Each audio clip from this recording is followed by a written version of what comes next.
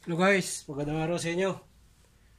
Ituturo ko sa inyo kung paano gumamit ng tester.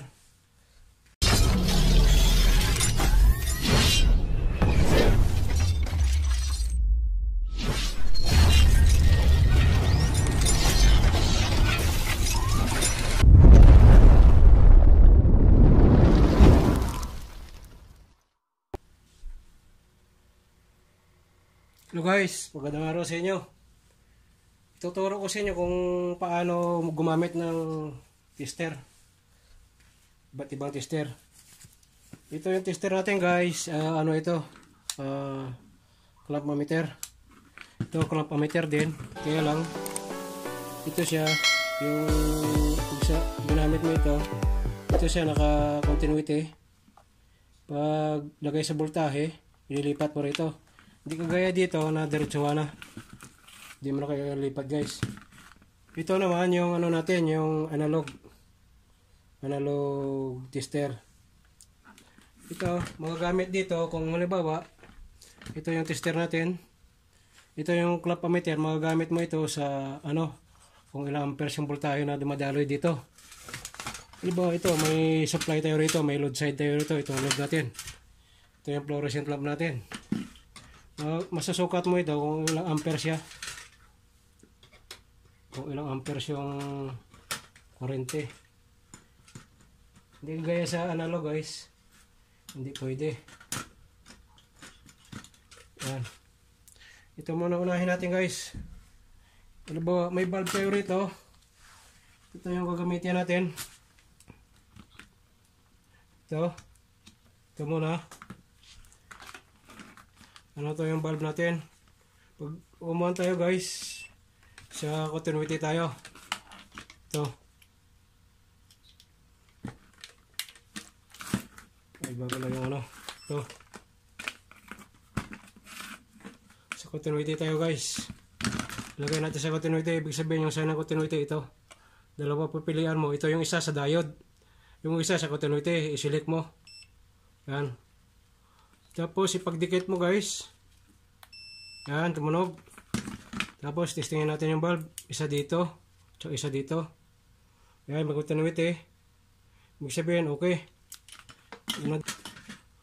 Yung battery, pag battery naman guys, ilagay natin sa DC. Yan, DC, DC, at saka AC. Ito yung uh, ah, DC, sa ilalim. Sa ilalim, ito yung AC. Ibig sabihin ng AC, alternate, alternating current guys. Yung DC, direct current. Ngayon, ilagay natin dito. Nakalagay sa dito sa voltahe niya is 9 volt. Sukatin natin. Tama nga. Dapat may polarity ito guys. Yung negative, isa pula. Yung probe mo, sa pula mo ilagay. Yung negative, yung ano mo, ayan. 9.43. 943 guys, 9.43. Ito naman, yung sa switch. Yan. Nalalaman mo kung sira yung switch natin. Ilagay mo sa common. Yung isa. Ngayon, lipat tayo dito sa ano, sa continuity. Yan. Ilagay mo, tapos i-switch mo. Ibig sabihin buo, buong switch nito. Yan. Yan buo. 0.3 ohms. Tapos ito may ano tayo rito. Ito may fuse tayo yung switch na ah, yung ano natin yung plug natin.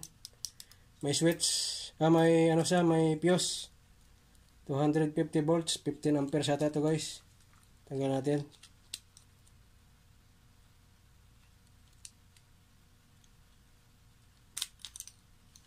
Tanggal natin. Ngayon, testerin natin to. Pag mag-tester di kayo ng fuse guys, continuity din. Ano sa 13 amperes. Ayan o, 13 amperes. Ayan. Ibig sabihin buo. Pag putol, hindi na tututunog guys. Ngayon, continuity pa tayo ha. Ngayon, sa ano na tayo. Ito, may switch pa rin. Switch ng ilaw to. Yan. Yung fluorescent lamp. Testerin natin. Wala siya. Ilahin natin to guys. Iwan natin.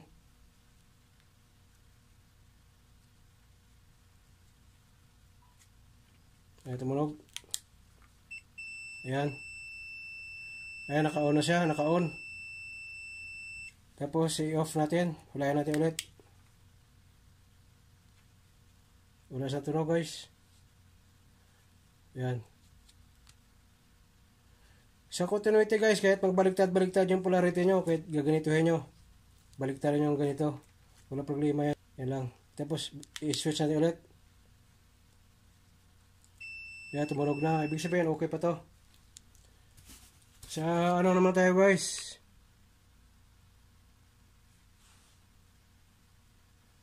Sa ano naman tayo guys, sa dito. Sa analog. Sa analog guys, yung naka-off siya, di ba? Ilagay natin sa times 1k. Pag magano tayo ng ano, ng continuity. Ito yung ano niya, pointer tawag nito, pointer. Tapos pagdikit natin, pagdikit natin guys, ayan. Ibig sabihin, pag pumalo siya hanggang dito, short siya, short. Ito, stereo natin. Stereo natin. Tingnan nyo kung papalo. Yan, pumalo. Ibig sabihin, okay yung bulb. Sa continuity. Yung switch. Ito lang yung guys, ang pangit sa analog. Hindi tumutunog pag sa continuity. Sa pointer ka lang mababase. Ito yung tinesteer natin kanina. Ayan, pumalo. Pitawan ko. Ayan, pumalo. Tapos, i-ano ko, i-off ko. Ayan, wala na siya. Okay na switch. Pag sa DC naman guys, pag sa DC, pag sa DC, ito may nakalagay dito na DC. Set mo rin sa DC sa ito sa ito. Ito yung DC nya ito yan. Lagay natin sa ano 10 volts. DC kasi naka ano ito? Naka 9 volts lang ito. Ito yung positive nya ilagay mo yung pula sa positive. Tapos testerin natin. Ayan Ayan sa DC niya guys.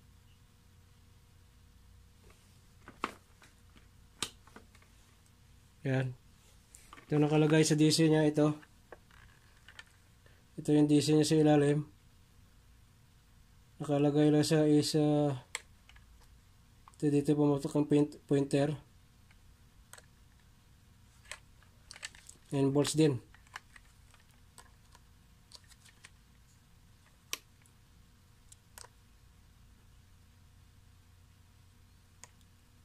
Ayan. 10 volts. Nakalagay. Ngayon, dito mo tayo sa ano guys, ito. Sa switch.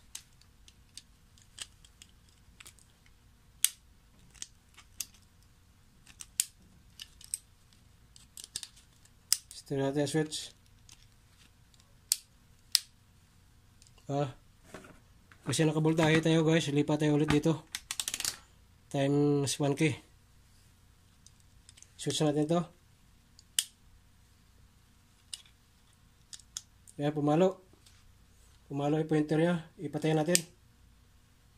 Yan patay. Buksan natin. Pumalo ulit. Ibig sabihin buo. Tapos yung sa fuse. Ano yung fuse? Ito fuse. Yung fuse oh. Ito natin yung fuse. Ayan pumalo guys. Balik natin. Ibig sabihin buo ang fuse. Tapos sa uh, ano tayo guys. Ano tayo sa ano, voltahe. Sa voltahe naman ito ilagay mo sa voltage. Ilagay natin sa 250 volts. Easy. Alternating current tayo. Tapos testerin natin to. Kung ilan yung voltahe. Ayan. 200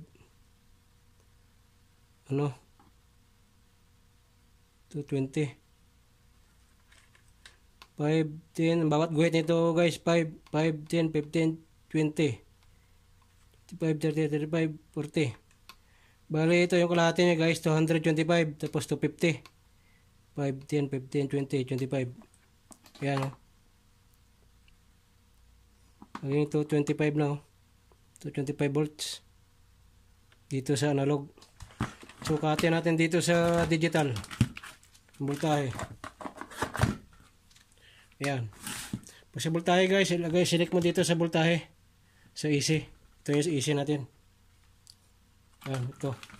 Pag sa voltahe, dito sa volts. Ito yung sign ng volts. Ito yung sign ng DC. DC power. Ka easy tayo. Sumatin natin voltahe. Dito sa 200 por 10. Hindi pare-pareho yung accurate yung ano natin yung tester natin yung clamp ammeter testing naman natin sa amperahe guys. Ito may ano ko saksak natin to. Yan. Tapos ilagay natin sa amperes.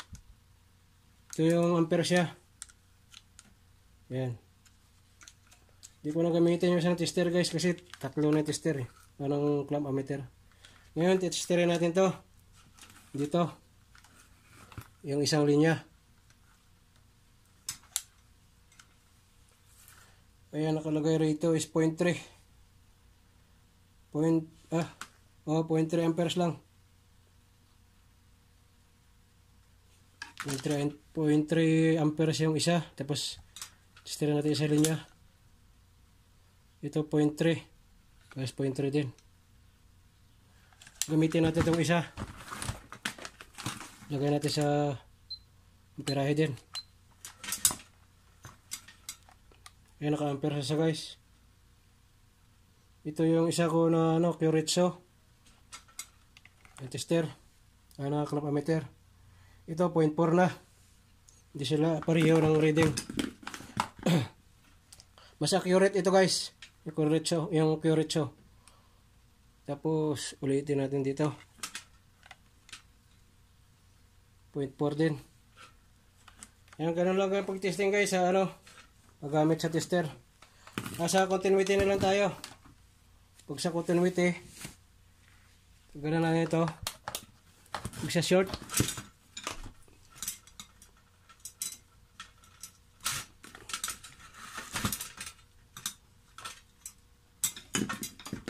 Pag short guys, halimbawa ito yung kable natin, nagdumikit, dikit natin to. Tapos testerin natin to ng ganon. Tira natin. Ilagay natin sa continuity ulit. Yan. Kadikit na yan. Halimbawa, nag-connection kayo. Testing nyo dito.